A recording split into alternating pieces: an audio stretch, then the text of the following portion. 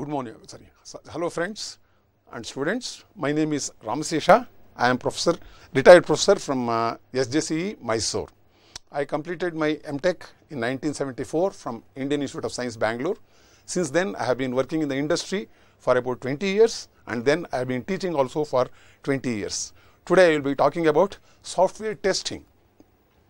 The remaining topics earlier my friends have covered, and now I am starting the new topic software testing. The objectives of this module are first to understand testing as the main task of quality control of the software and to understand different types and stages of testing of software from development stage to final acceptance till the software is delivered to the end users. Learn the design of test cases in the sense that how do we design various test cases to make sure that the software quality is ensured.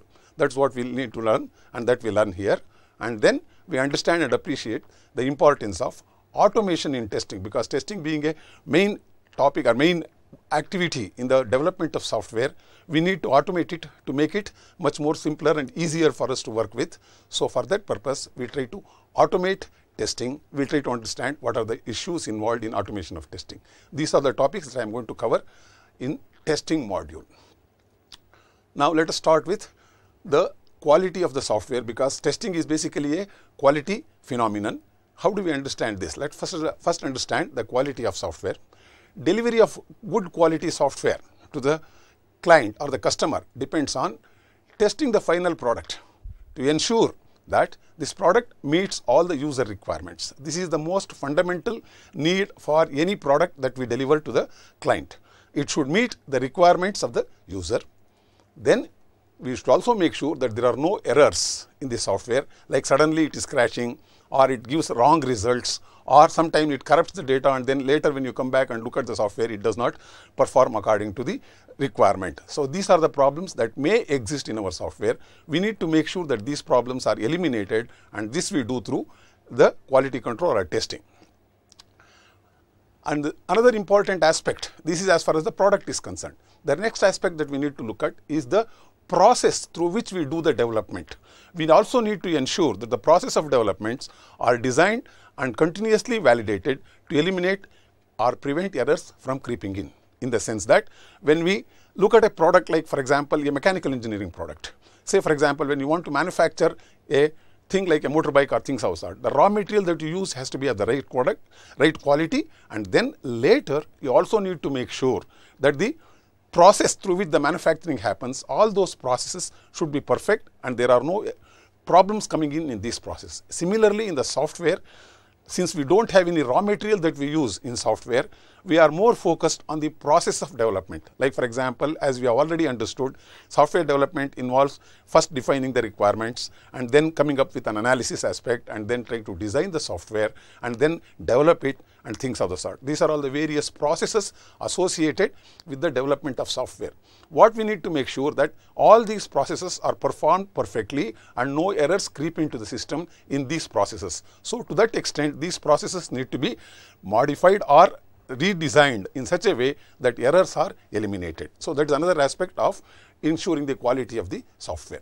So, this involves management of processes as organizational as well as project level in the sense that for the overall organization as a company as such we should follow certain policies to make sure that the quality of the product that we deliver is maintained and also for a given project depending on the level of quality that we need for that particular software in that project we have to specifically fine tune the company policies to make sure that that, that particular project meets the quality requirements defined for that particular software.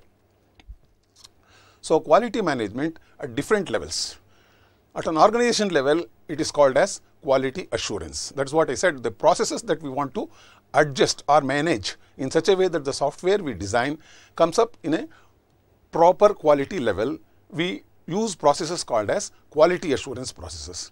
Here we establish a framework of processes and standards. That is, what standards we need to follow in during the development, what standards we need to follow during the requirements definition, what are the kind of checks and balances we introduce in these processes to make sure that the quality is maintained. These are all the issues that we look at at the organization level and that is called as quality assurance issues. And we not only define these processes, we also continuously monitor them and keep on checking to improve them so that the next version is much better. Next product that we develop will be much better. That is as far as the issues concerned in the organization level. Next coming to a specific project, say for example, we want to develop a software for a particular customer. At that level, there are certain stringent quality requirements that may be there for that particular product. We cannot have the same quality stringent levels for different softwares, for all the software the same way because some of the softwares we may have to have very stringent quality level depending on its usage. Depending, say for example, it is a critical software. For example, air traffic control software.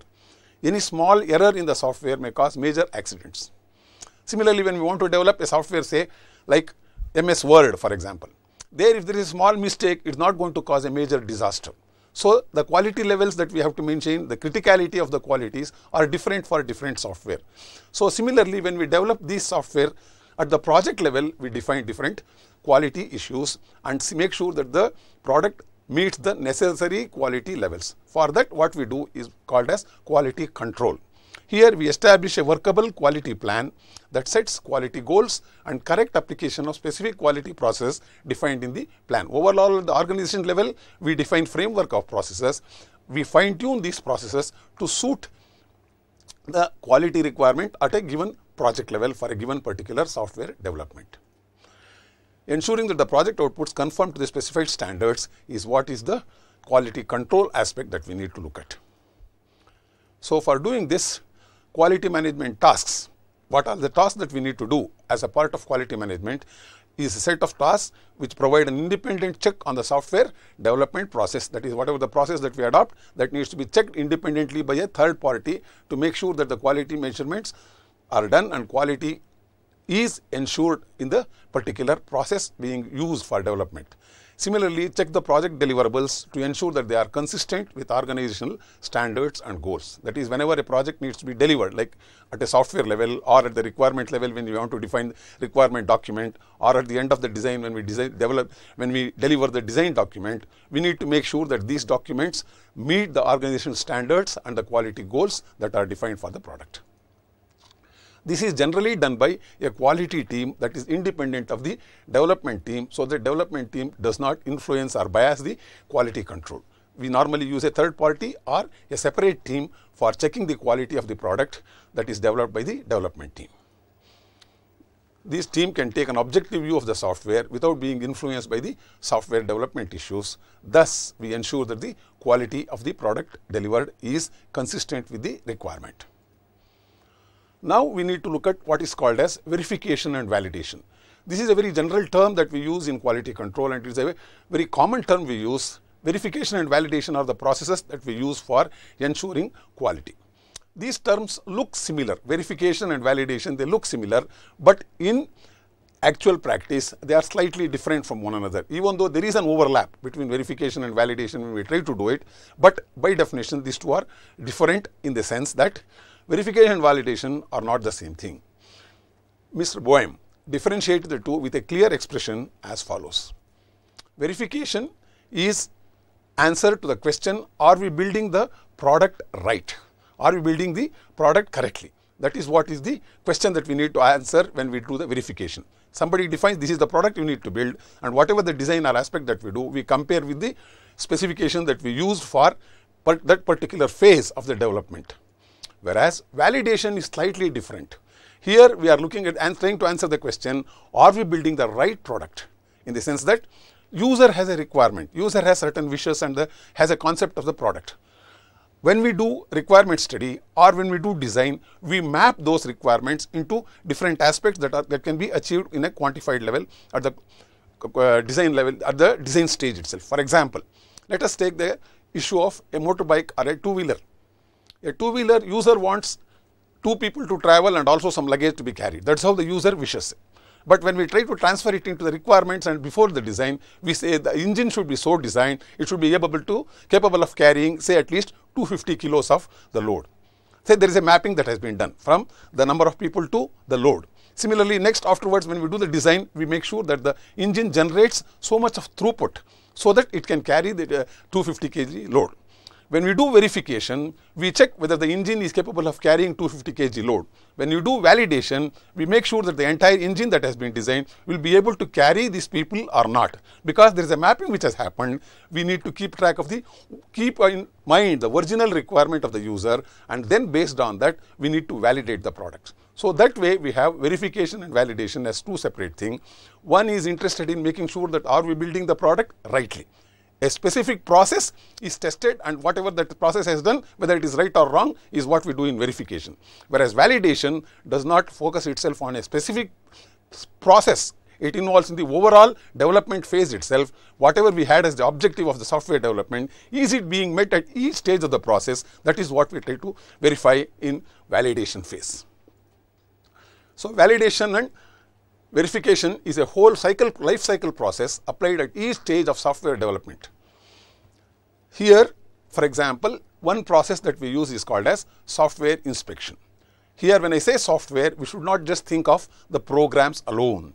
If you just define a requirement for a software, even that is what we call as one of the outputs of the software development phase and those uh, this one the output of that namely requirements document also needs to be inspected. Similarly, the next phase when you design a software based on certain requirements, we come up with a design document. That design document also needs to be inspected. So, software inspection basically is concerned with analysis of static system representation to discover problems and this verification process is also called as a static process because this is done manually by a set of people who are well versed in the field who understand the things very well. Say they look at the design document and just check whether the requirements are properly met or anything that has been missed out or will it work properly or not. This kind of inspection is what we call as software inspection and this is generally leads to maybe supplemented by tool based document and code analysis and this generally leads to what we call as validation process. Next phase what we are talking of is software testing. Software testing is a process concerned with exercising and observing the product behavior and this is called as dynamic verification in the sense that once the software is ready, the programs are ready, we try to run them in a real environment with a test data and then try to see whether it works properly or not. And then if there are errors, we try to report them. This process is called as software testing or verification and this is a dynamic process because here we need to have the software and then run it on the machine and then only we can do the testing. Whereas software inspection, we don't have to have the software ready. Once we have the specification or once we have the requirements and then the design document, etc., we can look at it and then based on that itself, we can do the verification, uh, validation and that is what we call as static validation. So, software testing is the field that we are, I mean the area that we are going to focus from now onwards. That is why I just defined where the software testing fits in in the overall quality process and now we let us focus on to software testing in this module. And before we go into that, we need to just look at validation and verification little more detail and then we will enter into the software testing aspect. Here there are two principal objectives in verification and validation. One is the discovery of defects in the system. If there are any basic defect whether it is in the design or the development any stage if there are defects in the system which is causing the problem of the working of the software we need to discover them. Second assessment of whether or not the system is useful and usable in an operational situation. This is a very important aspect that we need to consider in software in the sense that the system may not have many defects, system or uh, any defects for that matter, which is very rare, but still system may not have defects, but still it may not be so usable in the sense that user may not be very happy with it because it does not perform according to his expectation levels. So, that is what we need to look at in the second phase. Once we eliminate all the defects, we also want to make sure that it meets the user's needs or the wishes.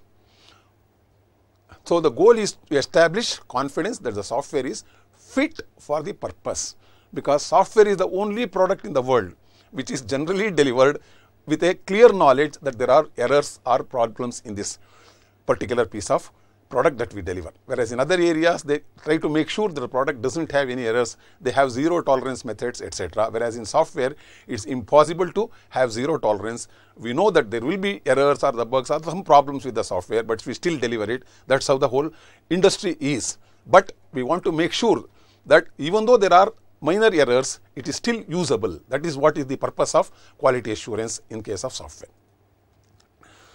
That as I told you, this does not mean that it is completely free of defects. Rather, it must be good enough for the intended use and type of use determines the degree of confidence that is needed. This already I mentioned about the criticality. This is the point which I am trying to highlight here. If the software is being used for very, very critical purposes, then the degree of confidence that we want to use it must be very high. Whereas if it is used for other purposes, we can define the degree of confidence depending on the usage of the software. depends on the following factors. One is the software function. The level of confidence depends on how critical the software is to an organization. If the application of, of the software is very critical for the survival and running of an organization, then we need to test it very critically and make sure that it works exactly as required. Second is user expectations. What are the expectations user may have about this product? If users have low expectations of certain kinds of software, then the quality testing that we need to do may also be reduced. And third is the marketing environment which defines the degree of confidence in the sense that how quickly we have to come into the market. Getting a product to the market early may be more important than making sure that it is perfect and without any defects. Because once the product comes into the market, it has to capture the market. If we delay the product, the market may be lost and we may not be able to capture the market. Under such situation, it's better to release the product earlier with defects rather than trying to delay the product by trying to make sure that it doesn't have defects. Totally 100% perfect software delivery may take longer time. So, for that reason, we try to define the degree of confidence and try to release the product before the other people release the product into the market. So, here is the verification and validation process as applied to the software cycle. See as you can see here the software development cycle starts with requirement specification, then we do a high level design, then we do a formal specification, we do a detailed design and then we go for programming. These are all the various processes that are involved in development of software and then we do the program testing which I have shown here. Static inspection and reviews happen at all these stages. When as soon as you do a requirement specification, some expert team will sit and look at the requirement specification and make sure that the requirements are complete, nothing is left out. It is uh, perfectly defines what the user has in mind and things of the sort. That is what is done with a static inspection of the requirements document. Similarly, when the high level design is done, it looks at the design document and makes sure that it meets the requirements and also it meets the user expectation and this is done through static inspection. Whereas, when the programs are ready, we go through the testing phase. This is what we call as dynamic verification and testing. Once the programs that need to be tested are ready, we run them with an test data and make and try to bring out all the errors in it and then show the programmer that these are the problems in the program, please correct them. So, that is what we call as the dynamic verification and testing phase comes here, whereas the validation phase is what I have shown in the blue here and the verification process is what I have shown here in the red. So, now looking at the software inspection a little, we have to come back to this a little later, but still now as we are going through this process, I try to define them here. Software inspection involves people examining the source code or the document with the aim of finding anomalies and defects. This is basically a expert looking at the document and trying to visualize what has been done and then based on his knowledge, he tries to do the inspection. These inspection include program inspections. Sometimes we do even automated analysis of the source code. Like for example, when you use certain particular language, there are certain structures we are supposed to use. For example, if I use an if statement, the corresponding else statement should be there and it has to be indented to a particular level. See, these are all some of the standards that we normally follow to make sure that my program is debuggable later and can be maintained easily. So, such analysis can be automated also. So, inspection even though generally done by set of experts, sometimes we can even automate it and we can do source code analysis and such automation is also part of software inspection. Generally, there is no need for execution of a system unless it is a automated verification where we need to do this, but still your code or whatever the program that one would have developed, that will not be executed. Instead, the inspection code will be executed and your program will be treated as data for inspection. If in manual inspection, the set of people who are experts will look at the particular document that you have generated, whether it's a code document or is it a requirement design document or a requirement document, they look at it and then critically they observe, analyze and then come back with their feedback saying that these are the things that you have not taken care. That kind of inspection happens. May be applied to any representational system like requirements, design, configuration, data, test data, etc. All this can be inspected it has proven to be effective technique for discovering errors because before you start even execution, if somebody tries to do some kind of revision, just as you do in your examination, you know, when you complete your answers, you go through your answers once again to revise them and try to find whether there are any errors, mistakes that you have left out. That kind of inspection is what we do here also and this is proven to be very effective technique in discovering program errors. Whereas software testing is the process of running a developed program with artificial data that is a separate set of data to ensure that there are no bugs in the program or the system. That is the process of testing. Here parts of a this, this can be testing can be either verification testing or validation testing. It can be part of both of this. The only validation technique for non-functional requirement as the software has to be run to see how it behaves. See, there are two kinds of requirements that we have already studied, functional requirements and non-functional requirements. For functional requirements, you can do testing. Whereas for non-functional requirement, it's what we call as a validation can be done. Even through testing, we can do the validation. Such kind of testing is what we call as performance testing, which will come a little later. We'll talk about it little later. So, this is another important point that we should note about the testing it can reveal the presence of errors. When you test a program, it can show up certain errors. But you cannot guarantee that just because the program has been tested and after the testing there are no errors in the program, that guarantee we cannot give because the testing can only throw up the errors. There may be some test which you might not have conducted because of which that error might not have been thrown. It is still hidden in the system. That can be that, that way nobody can guarantee that the prog uh, there are no errors in the system just because you have gone through the testing.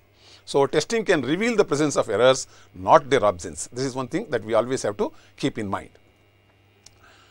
Now, inspection versus testing, advantages over testing of the inspections. In testing, one defect may mask another, so several executions are required. Many different defects may be discovered in a single inspection. This is the one fundamental difference in the sense that, for example, you are trying to test a code. There is some problem and the code aborts at the, says about sixth or seventh line itself. So, the rest of the code has not been tested at all. So, you fix this bug and then you try to test it again, you will find another bug.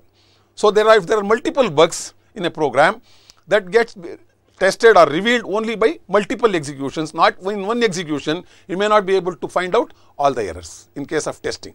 Whereas in inspection, what we are doing is, we are manually going through the program and the person who is reads the program, who tries to understand the program, even though he notices the defect, he marks it and then he can go through the program further and then he can identify the other defects also. That is why in a single inspection, you can discover multiple errors, whereas in a testing cases, there may be scenarios where multiple errors may be, have to be discovered through multiple executions. Inspection can be done on incomplete versions too but testing needs to be needs a fully developed product. In the sense that you are developing a code halfway through you can give it for inspection and the person can go through that portion of the code and point out defects within that area itself. You doesn't have you don't have to write the full program make it workable and then only give it to the testing phase. Whereas in testing it is not so. You need to fully develop the product. You have to hand it over so that it is runnable on the machine. Then only he can conduct the testing Inspection can also consider broader quality attributes like standards compliance, programming style, etc. But testing can only look at specific functionality bug.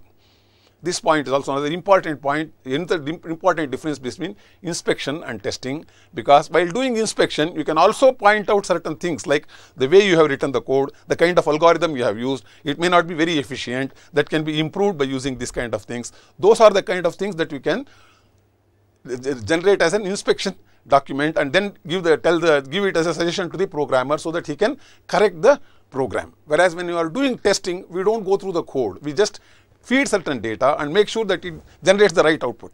Even though it is inefficient in the sense that it is taking more time to do that, that is not the issue that we do in the testing. As long as it gives the right results, testing is passed. Whereas if it is not quality wise good, that can be checked only in the inspection. Though those are the advantages of inspection over testing. Whereas shortcomings of the testing with respect to, uh, sorry, shortcomings of the inspection with respect to testing, following are the issues. With programs, you can only check the correspondence between a program and the specification. Inspection cannot exactly say whether there are er errors in this uh, program or things else. Some of the program errors can be discovered in inspection, but there are several errors which cannot be discovered in inspection. Only testing will do it because machine will formally run the program and it will generate the errors. Human mind may not be able to identify all the problems. That is why inspection has certain limits. It will be able to identify certain problems, but not all. It cannot demonstrate the operational usefulness of the software being developed in the sense that, as I told you earlier, it may find out whether there is working uh, it may it will work it will work or not. But will it work efficiently or not that can be tested only through the testing process. There are certain emergent properties of the software. That's what we call as performance reliability etc the performance is how quickly it will work, how exact, how fast the results will come and things of the sort that you cannot do in the inspection because you are just going through the code, you don't know how long it will take to get executed on the machine. Whereas while during testing, if it is taking longer time, we can report saying that there are certain performance issues because of which software is taking too much of a time and then they can do the correction. Such errors cannot be discovered in inspection, it has to be discovered only through testing process. Success depends on the quality of the people performing inspection. This is also very important point that we need to understand. When we do inspection, it is basically a manual work done by a set of experts. If he applies his mind and goes through the code seriously and with lot of interest, then we will be able to come up with lot many errors. If he doesn't take so much of interest because of whatever reason, he may just identify a few errors and then say, okay, it is passed but he may not have applied himself fully to identify all the possible inspection, uh, inspection errors that he could have come up with. So, that is why the success depends on the quality of the people and their interest in performing the inspection. If a person is very well qualified, he will be able to identify several bugs in moment he looks at the code. Whereas, if he is not experienced, he may not be able to identify those errors also. So, now coming to the testing, that is our main focus. Objectives of testing Testing can be stated as to demonstrate to the developer and customer that the software meets its requirement. This is one of the fundamental objective of testing that is we need to demonstrate running the program to the both the developer and the customer that the software meets all the requirements. Must test all functionalities individually and in combination. A software may have several functionalities like for example, you look at your mobile software particularly a simple module like your uh, this one uh, contacts module that has to have facilities to store addresses, it has to have facilities to retrieve addresses, it has to have facilities to send a message, it has to have facilities to send, uh, make a call and things of sort. All these functionalities are part of the address module that we try to develop. All these functionalities have to be tested individually and in combination with others. Many times it may lead to validation testing also even though we are doing it for verification of the software, it may lead to validation in the sense that when you do the testing, you notice that some of the requirements that were stated were not at all satisfied in this. So, it may turn out to be a validation testing as well. So, second aspect is to discover faults or defects in the software where the behavior is incorrect, undesirable and does not conform to the specification. One is to make sure that it performs as per the requirement that is point number 1 which I have mentioned. Point number 2 is it does not perform the way it is not supposed to be in the sense that if you try to give a wrong data or things like that, it should not abort and start giving errors. So, even that aspect needs to be tested. So, these are the two things that we need to test and second one aspect is what we call as the verification testing that is it performs exactly according to the specification not according to the requirement as specified. An input and output model of testing is what we show here in this picture. What we see here is input test data which is the entire module that we have shown here. This input test data consists of cases as you can see which are inputs causing anomalous behavior of the software. Here what we are trying to do is we have a set of inputs, we take the system as a black box and then we try to generate the output. The input test data, we have certain conditions where we should then expected results. Output results are expected results also. We try to map it and keep ready. We, when we try to give this input test data, we expect these results. If those results come, then we say the test is successful. If those results don't come, then we say test is failure. Similarly, we have some set of one subset of input test data which consists of inputs causing anomalous behavior in the sense that system is not supposed to accept this data system is not supposed to function for this data. For example, I try to store a name in the address book as blanks. What will happen when I try to store the address book as blank? When I try to store a alphabetical character in the phone number, what happens? So, these kind of anomalous behavior we try to put through and see what how the system behaves, whether it is resilient enough to reject that data or whether it makes wrong uh, calculations or wrong results and that's what we try to test and the output we can consider that also output which reveal the presence of defects that we try to identify. So, the testing the overall model of the testing that we have put here is we have a set of input test data which consists of right results as well as the right conditions as well as the wrong conditions. We pass them through the system and we generate the output test results. We match the output test results with the expected results and for the correct data it should give the correct result and for the incorrect data it should give the results that are acceptable saying that this is the data should not have come and things are the error messages have to properly come. So, that is what we do through the testing phase. So, software testing is the most widely used and main technique for validation and verification involves exercising the program with the data can reveal the presence of errors not their absence as we have already understood. I am just trying to summarize whatever we have learnt about software testing so far. The only technique for non-functional requirements validation as the software has to be executed to see how it behaves. See certain performance issues we have to run the software and then only we know whether it is going to meet the performance requirement, reliability of the software. How reliable it is, you cannot do through inspection. It has to be run through testing only. So, such things are done only through testing. Should be used in conjunction with static verification to provide full V and V coverage. So, testing alone is not enough. We need to do inspection as well as testing. These are the two complementary techniques that we use for software testing, rather for software quality control. So, a model for software testing process. How do we go ahead doing the software testing process? Here you look at it, what we do is moment the system is designed, I mean design phase, when it enters the design phase, the system is getting designed. During that phase itself, test team will become active and they will start designing what are called as test cases.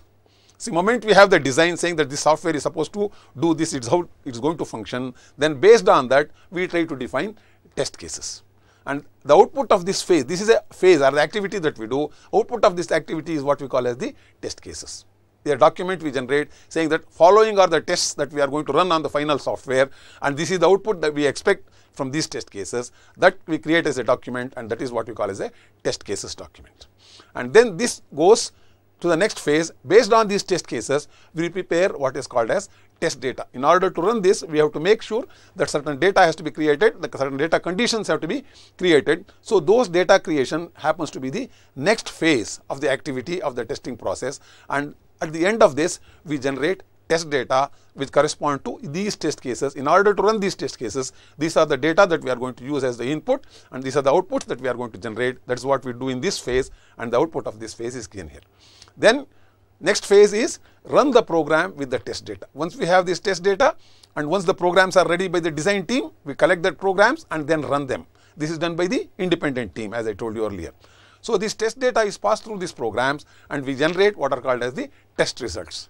These test results when we generated test cases, we also have an expected test results. We try to compare them with the test cases. That is what is the next phases. When we run the program, we generate the test results. This is the output of this activity.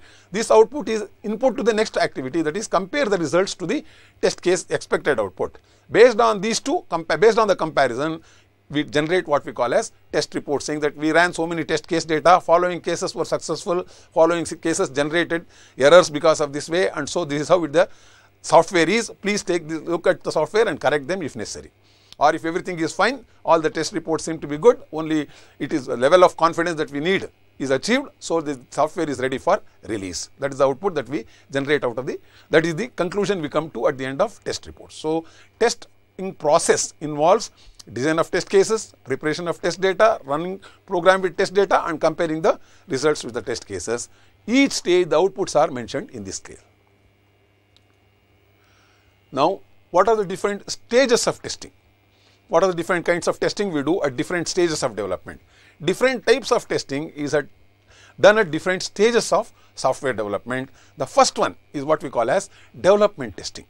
Here during the development, the programs are just getting ready, the entire system is not yet ready, only each programmer has come up with certain modules of the software which is assigned to him and there is that is ready. And what we do is we try to develop, we try to test this portion of this, uh, this one during the development phase itself, where the system is tested during the development to discover the bugs and defects, so that immediately it can be corrected before the system is finally ready.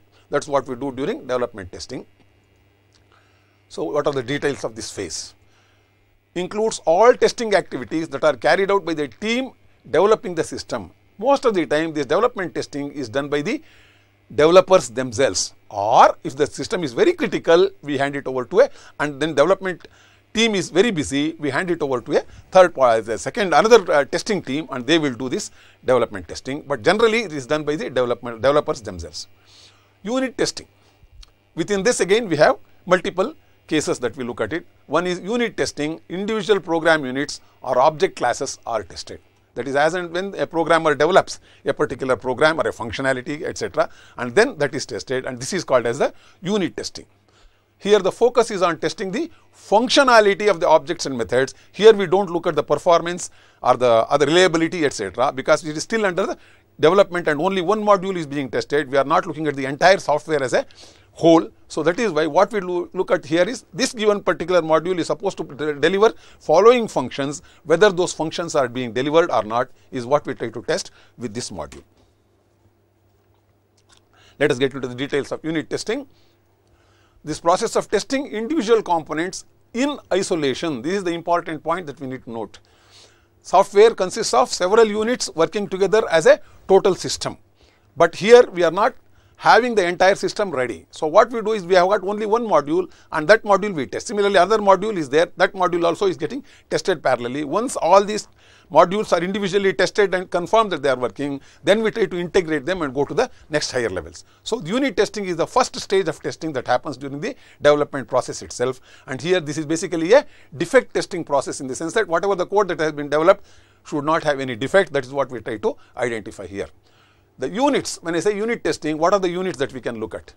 Unit could be a simple function, a C function kind of thing or a method within an object. That could be the simplest that we can have to test. Somebody had written few lines of code for that. We try to execute them and see whether it works for all the conditions. Or it could be object classes with several attributes and methods in the sense that it could be a class consisting of so many attributes and methods. We not only individually test all these methods, we also try to test in Unity how these attributes are changing the value, what are the states that object can take, whether those are states are properly taken or not, that is tested or it could be the next higher level or a composite components consisting of several object classes and with a set of defined interfaces which uses several objects and several methods together and generate the required functionality, we test them also. These are all individual method is a smallest unit, object class may be a slightly bigger one, composite component may be a much bigger unit, but still they are considered as units because it is not the entire system. Object class testing involves testing of all operations associated with an object. When we generate an object, we look at all the functionalities or the operations that are defined with that object. When we try to test them, we generate the test data for each case, setting and interrogating all object attributes. There may be so many attributes, we try to set them with a certain value and try to check back whether those values are stored. If these attributes have certain limitations in the sense that this can only store these values, only alphabetic values can be stored or numeric values can be stored and even the numeric value should range within this to this. Like for example, a marks can be between 0 to 100. It cannot exceed this and things of the sort. If there are conditions of that, we try to test each of them and make sure that the attributes behave as expected exercising the object in all possible states. That is, we try to set these values and based on those values, we say what the object state is. So, we want to see all the state of the object that also we try to exercise. Inheritance if you have, say when you do the object class testing, if there are multiple classes through which we, we define which have inheritance associated, this testing becomes much more difficult. If you take a simple object with set of uh, attributes and methods, you can test them individually very easily. Whereas if there is inheritance, in the there is a class and a subclass and a subclass and things of sort, what happens is a method that you define in a higher class might have been changed in the next class. Certain objects, certain attributes may not be available here, certain new attributes might have been added in the subclass. So, we need to test all these conditions in the sense that when we look at the method at the higher class level, it should function exactly according to the higher class level. When we try to test the subclass, there may be modification in this in the code itself or in the attribute itself that also need to be properly tested. We need our testing effort becomes more and more complex when we try to test object classes where the inheritance is involved. That is why an inheritance is involved. A superclass provides operations that are inherited by the subclasses. That is what I just now mentioned. All these subclasses must be tested with inherited operations using all parameters used by these methods in the sense that there may be multiple parameters being used. One subclass may use one parameter, another subclass may not use the other parameter, but still we have to test all these subclasses with all the possible parameters to make sure that it functions exactly according to the requirement. Subclass may make certain presumptions about other operations and attributes. That is why we need to test all the possible conditions even though the subclass may not use it by chance if that attribute may cause some problem in the other subclass itself that we try to correct, that we try to test and then if there is a problem we report. Methods may be overridden in the subclass as I told you code may be changed in the subclass. The same method may work differently in the subclass. So, we try to execute at the higher class level and also in the subclass level and make sure that in both the levels it works exactly according to the requirement.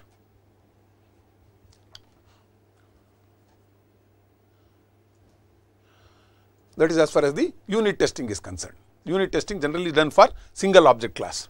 Now, the second this one as I told you a component. Several individual units are integrated to create what we call as composite components. That is several object classes put together becomes a component and that will have been treated as one unit.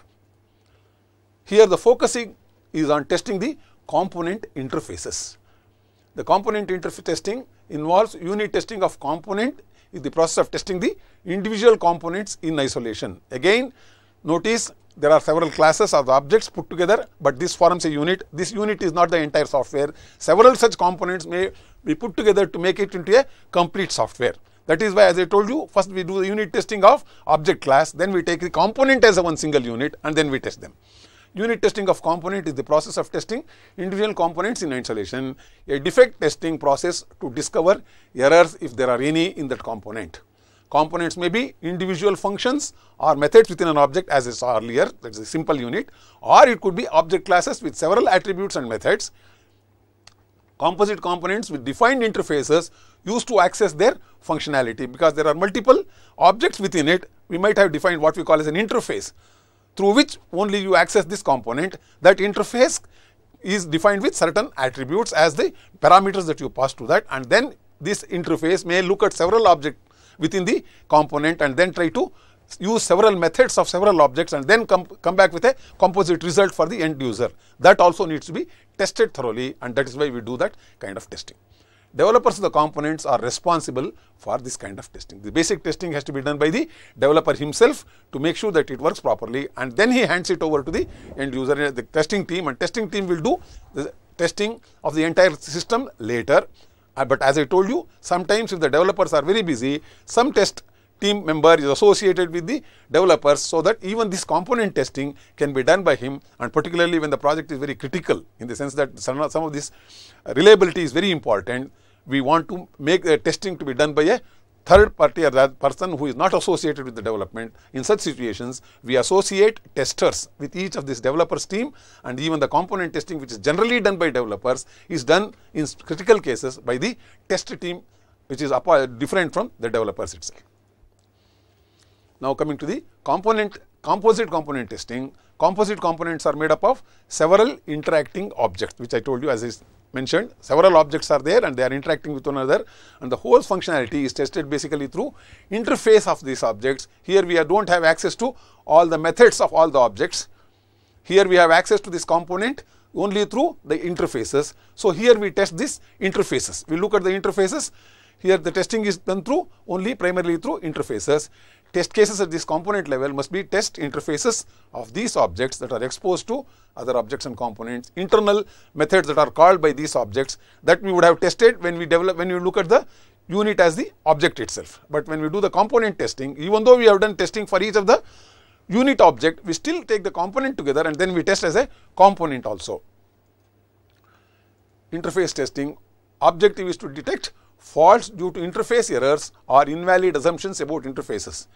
Types of interfaces that we need to test are one is parameter interfaces that is when you have an interface method calling and certain parameters to be passed data passed from one procedure to another using these parameters that is what we need to test different parameter values we need to pass and test them. Similarly, shared memory interfaces between two objects there may be certain attributes which are common and we try to share the attributes between the two objects and we try to test them by setting certain values by one and reading the other one uh, those values by the other object. Block of memory is shared between procedures or functions that is what we need to test. Similarly, procedural interfaces wherein certain logic is being applied through these interfaces, this logic may be distributed at across different methods in different objects within the component that need to be thoroughly tested. A subsystem encapsulates a set of procedures to be called by other subsystems. This encapsulation of set of procedures is what I just now mentioned as calling from one object to other and things of sort. Within that, several methods would have been invoked, and but what we look at it as only one procedural interface. That interface may further eh, further expand into calling of several methods with several objects within the component. We need to test the entire root of this for all the possible values to ensure that it is working properly. And similarly, message passing interfaces, subsystems may require services from other systems by passing messages from one to other. Then also we need to test them, saying that passing different messages and making sure that the other party receives the message properly. So, interface testing, most common form of errors that occur in object-oriented system can be classified into three categories. We are mentioning this because test teams should be aware of these are the possible errors. So, they should look for these kind of errors interface misuse in the sense that there are certain parameters to be passed. If you pass wrong parameter, what happens? Interface may misbehave and that misbehavior may cause certain problems within the system itself. So, that we need to think of what are the possible misuse that can happen and generate test cases for those misuse and make sure that the testing is done to ensure that system cannot be misused. A calling component calls another component and makes an error in its use of its interface, example parameter in the wrong order, etc.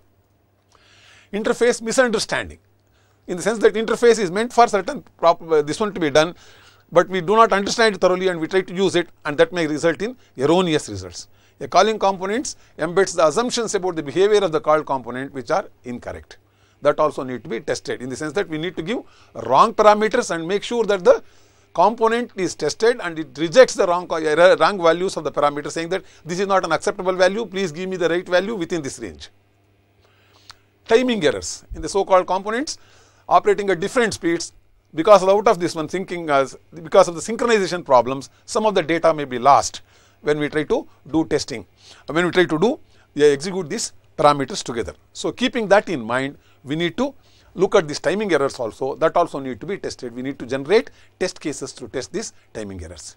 So, these are the guidelines that we follow for interface testing design test so that parameters can be called procedure at the extreme ends of their ranges. Suppose the parameter acceptable is 0 to 100, give a value minus 1, give a value 0, give a value 1, similarly give a value 99, give a value 50, give a value 101 and make sure that it works properly for all these values in the sense that 101 it should reject, minus 1 it should reject, 0 it should accept, 100 it should accept, 99, 50 all of these values it should perform the same way. These are the kind of things that we need to test. Always test pointers with null pointers. If they are using pointers, just make sure that the pointers are null and then see how the system behaves. Similarly, design tests which cause the components to fail. We purposely make the give the wrong data and fail the system and then try to test it. User test testing is a message passing system in the sense that you pass too many messages and see whether any messages are lost because the buffers are overflowing and things of sort. These are the kind of things we try to do. In shared memory system, vary the order in which the components are activated and then try to test them. So, these are all the kind of things that we try to do for interface testing. So, from this we come to the next kind of testing. We have covered the unit testing. Next testing that we need to cover is component testing. Here the focus is on testing of the components. This we will take up in the next session. Thank you very much. Okay.